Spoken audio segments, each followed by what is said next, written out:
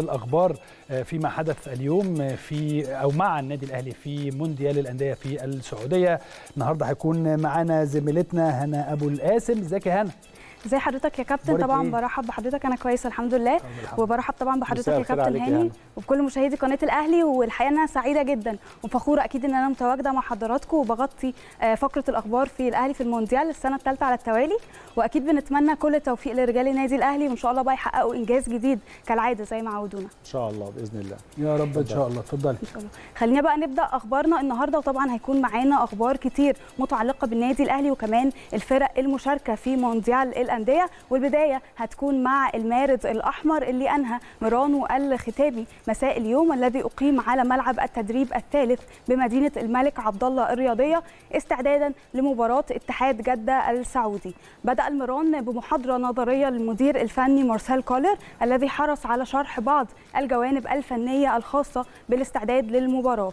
وكذلك منح بعض التعليمات للاعبي الفريق من أجل تنفيذها خلال مواجهة اتحاد جدة وخاض لاعبو الفريق فقرة بدنية تحت قيادة أندريس أندويا مخطط الأحمال قبل تنفيذ بعض الجانب الخططي خلال تدريبات الكرة واختتم الميران بتقسيمة قوية بمشاركة اللاعبين في ضوء التحضير للمباراة.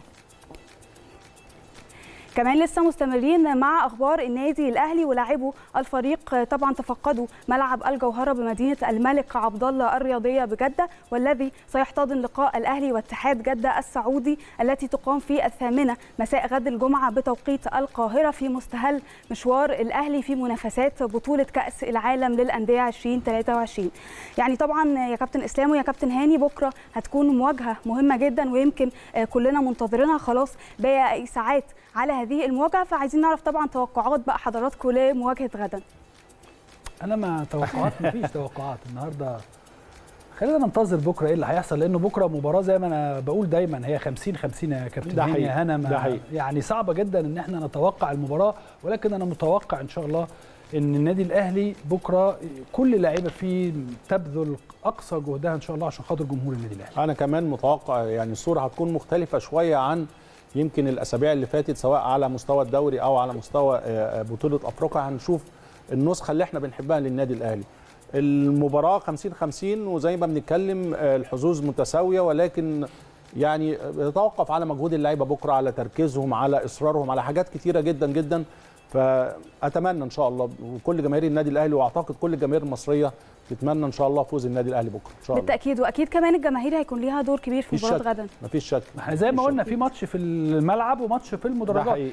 يعني بكرة محمود شوقي امبارح لو حضرتك تتذكر يا كابتن هاني اتكلم معانا وقال لنا إنه عندنا عدد كبير جدا جدا بسم الله الرحمن الرحيم 16000 ونص أهلاوي هيكونوا موجودين بكرة على الأقل في الملعب. اللي حجزوا تذاكر مباشرة باسم النادي الأهلي. ما أعرفش الباقي كام.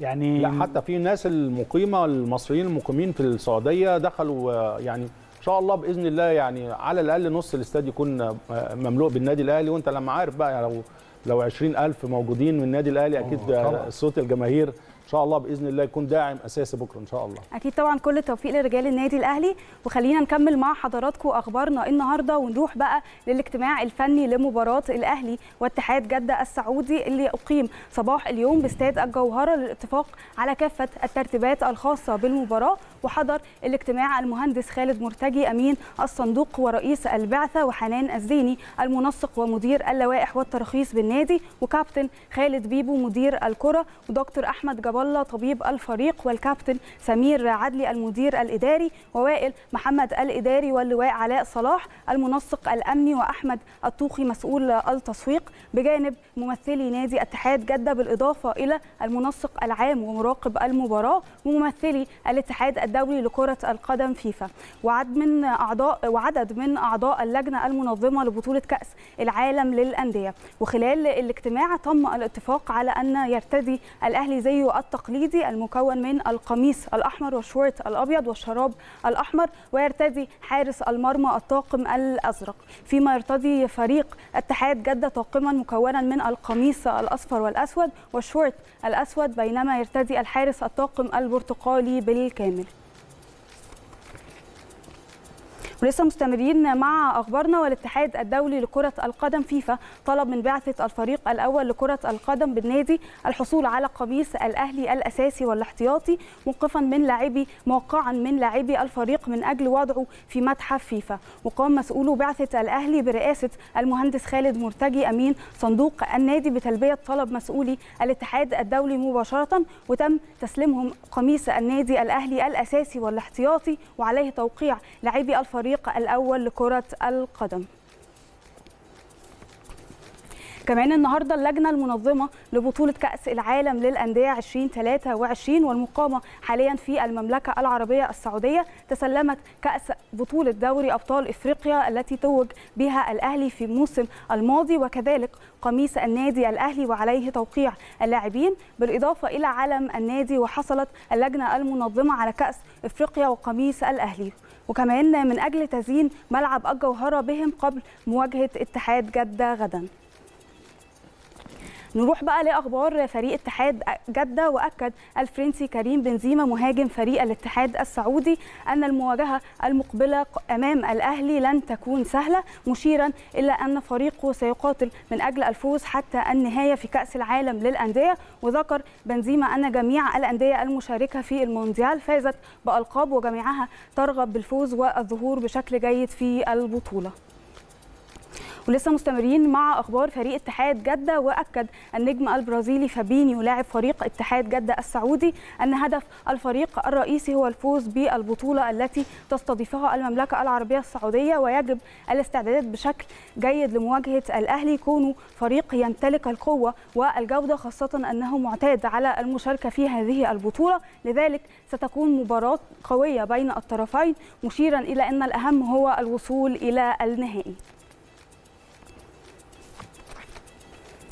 نروح بقى للمباراة الثانية اللي هتقام بكرة ويتطلع طبعا فريق ليون المكسيكي وأوراوا ريد دايموندز الياباني ببلوغ الدور قبل النهائي لبطولة كأس العالم للأندية. والمقامة حاليا في المملكة العربية السعودية عندما يلتقيان غدا الجمعة في دور الثاني للمونديال وخلال المباراة التي تجرى على ملعب عبد الله الفيصل بحلم الفريقين بالمضي. طبعا قدما نحو المربع الذهبي وملاقاة فريق مانشستر سيتي الإنجليزي ويشارك ليون في مونديال الأندية لأول مرة وهو تاسع فريق من المكسيك يمثل قارة اتحاد أمريكا الشمالية والوسطى وكمان الكونكاكاف بينما الفريق الياباني فهو يستعد للمشاركة الثالثة في البطولة بعد عام 2007 والتي شهدت تتويجه بالميدالية البرونزية بينما كانت الثانية عام 2017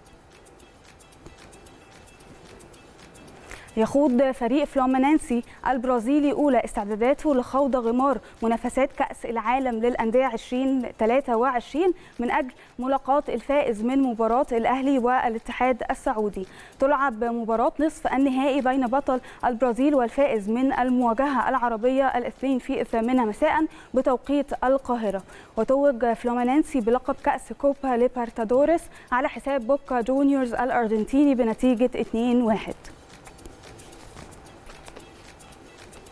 نروح بقى للصحافة العالمية وأشارت تقارير صحيفة إلى أن بعثة فريق مانشستر سيتي الإنجليزي ستصل إلى المملكة العربية السعودية يوم الأحد المقبل استعدادا للمشاركة في منافسات كأس العالم للأندية وأن لاعبي فريق سيواجهون تدريبهم في مقر سكنهم على أن تنطلق التدريبات الرئيسية يوم الاثنين على ملعب مدينة الملك عبد الله الرياضية. الجوهرة المشعة استعدادا لمواجهة الفائز من فريق أوراوا ريد دايموندز وليون المكسيكي في دور نصف النهائي من البطولة المونديالية. وتعد هي المشاركة الأولى لل Citizens في كأس العالم للأندية إذ لم يسبق له الوصول إلى المونديال بعد أن حصد لقب دوري أبطال أوروبا.